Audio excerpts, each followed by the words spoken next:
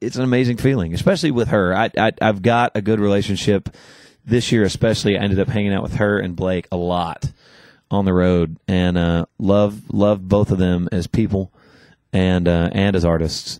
So the fact that you know she asked me and my band to go out with her and be a part of that tour is is big, and it's something I'm overwhelmingly looking forward to. It's going to be a blast.